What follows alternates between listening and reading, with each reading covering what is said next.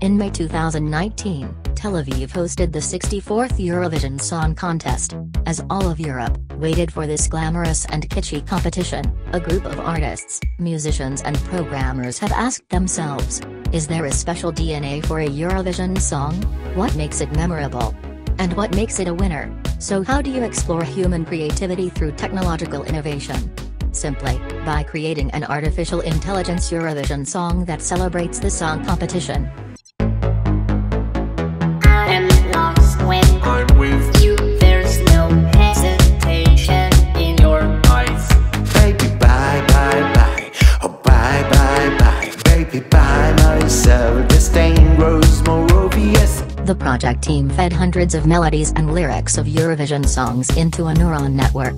Then, algorithms produced thousands of new tunes and lines of verse. We carefully selected the best generated pieces, and welded them into a song. The result, a song that comprised entirely of material created by artificial intelligence.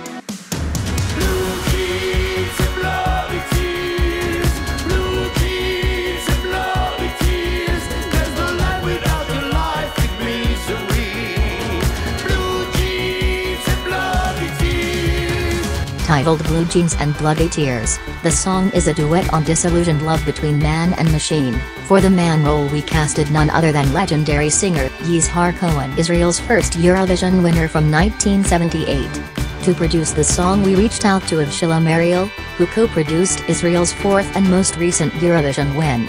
Within hours and without any paid promotion the video reached dozens of global and local media outlets celebrating our melodramatic and campy result. Fans and haters discussed their favorite lines.